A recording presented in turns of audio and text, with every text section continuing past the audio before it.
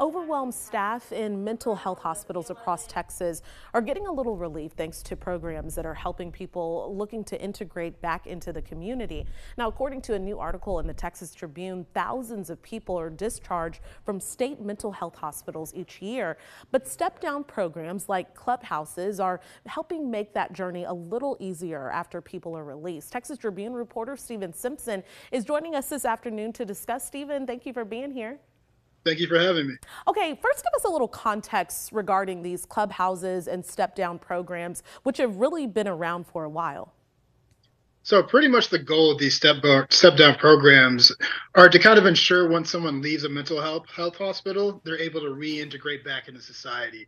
And that can be accomplished in various ways, either helping them find a place to stay, giving them job training, or like clubhouses kind of surround them with like-minded individuals to kind of give them the social skills they might lack after being in the hospital for so long.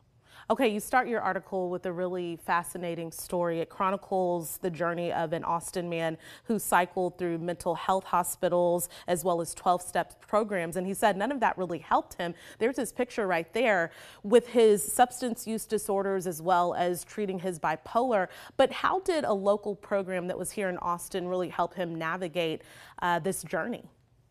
So the Austin Clubhouse program pretty much gave him a sense of structure. He runs a snack bar there, and so he knew every day he had some place he needed to go to kind of do a task, but doesn't have the pressures of like a normal nine to five job. It's he's always kind of surrounded by other people like him. So if he's having a bad day, somebody, either the staff or a fellow members, will notice. Okay, and the state established the Texas State Hospital Step Down program. Has that been effective? Uh, it's kind of hard to say because the Texas State Hospital Step Down program has a residential component attached to it. And so they've really only had like 15 beds available.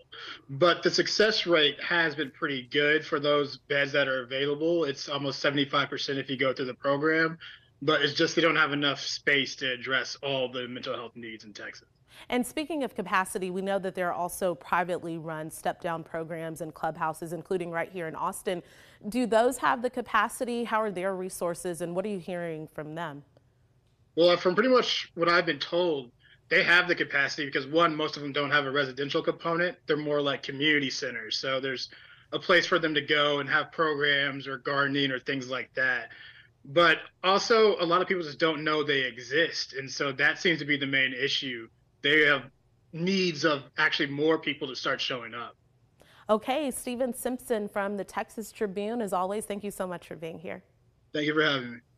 Coming up, some lawmakers on Capitol Hill are calling for a new staffing rule in nursing homes to take effect, but others are trying to stop it, saying it will make things even worse. Washington correspondent Maddie Biertempfel reports now on the renewed push for keeping the rule in place.